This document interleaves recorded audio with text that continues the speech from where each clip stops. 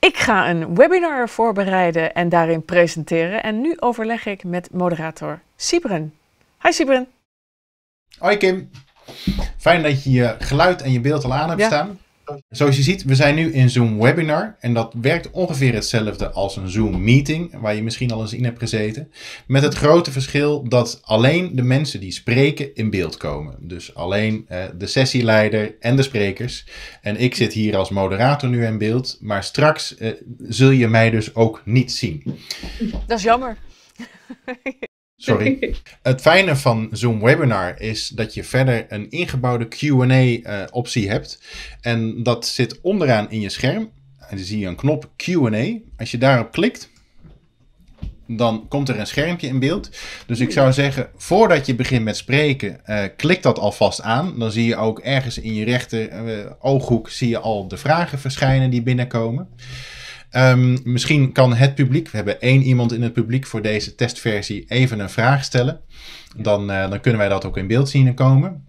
Het leuke van deze manier van QA is dat er mensen ook kunnen stemmen op welke vraag ze het liefst beantwoord willen zien.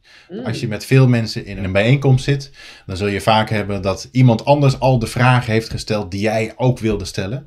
Klik dan op dat geval op like bij die vraag. En hoe meer likes die vraag krijgt, hoe hoger die bij de spreker in beeld komt.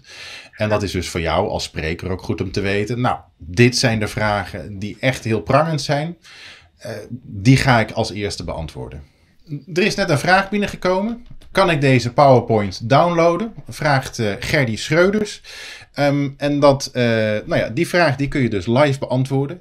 Je kunt Ja. ook zeggen van, nou, eh, ik ben de sessieleider, maar misschien kan iemand anders hem voor me beantwoorden. Typ dan een, an- een, een antwoord. Eh, en als je klaar bent met die vraag, je hebt hem beantwoord, daar heb je een moderator voor. Die kijkt dan mee welke vragen beantwoord worden. En die klikt dan op dismiss. En dan is die eh, weg. En dan is die in jouw lijst eh, weer duidelijk eh, nou, wat de volgende belangrijke vraag dan is. Kun je ook polls doen in deze webinar setting? Ja, bij deze webinar kan dat. Eh, let op, per sessie eh, kunnen we maximaal drie polls aan. Dus eh, overleg dat heel goed met je sessieleider als je een poll wilt hebben, hoeveel je er kunt gebruiken. Ja. Ehm, ik zal ook even laten zien hoe dat werkt. Dit wordt door de moderator op afstand ingestart. Dus als jij een poll wil starten, moet je dat ook eventjes heel duidelijk aangeven van... Nou, ik wil jullie nu een vraag stellen en er komt zo meteen een poll in beeld. En dat is dan deze vraag. En alle deelnemers kunnen daar dan ook op klikken van hoe voel ik me? Nou, we hebben één deelnemer en die voelt zich goed. Dus dat eh, is fijn. Dat kan ik ook laten zien vervolgens als moderator. En dat zal ik hier in beeld brengen. Hmm. Dan kun jij als spreker dus ook goed volgen wat, eh, nou ja, hoe de mensen in het publiek eh, zich Ja, voelen. leuk. Mhm. Mhm. Dat kan de moderator dus ook weer wegklikken en dan kan hij eventueel door naar de volgende vraag of het hele polling eh, gewoon afsluiten. Bij een webinar is het dus zo, ja, je bent wat meer aan het, aan het zenden. Eh, je hoeft verder technisch niet zoveel na te denken, behalve dan over het, eh, over het share screen gedeelte, als je je PowerPoint wilt delen. Ehm, de moderator bepaalt ook wie en hoe en wat in beeld is. Eh, dus als de moderator schakelt naar Gallery View, dan ziet hij alle sprekers bij elkaar in een schermpje. Ehm, en dan zien alle deelnemers dat ook zo. Als de moderator schakelt naar eh, Speaker View, dan is alleen de spreker op dat moment in beeld. Dus je kunt een heel panel in beeld brengen. Dat is even goed om te weten van tevoren.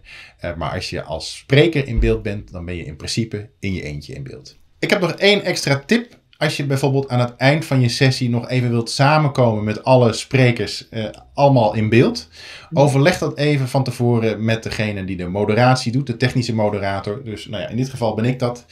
Ehm, dat hij aan het eind van de sessie even alles op Gallery View zet. Want dan zie je namelijk alle sprekers tegelijkertijd in beeld. Leuk bijvoorbeeld voor de QA. Dan kun je nog eens een keertje vragen stellen aan alle deelnemers tegelijk. En dan kan de sessieleider zeggen van nou, Kim, wil jij die vraag beantwoorden? Of Henk, wil jij die vraag beantwoorden?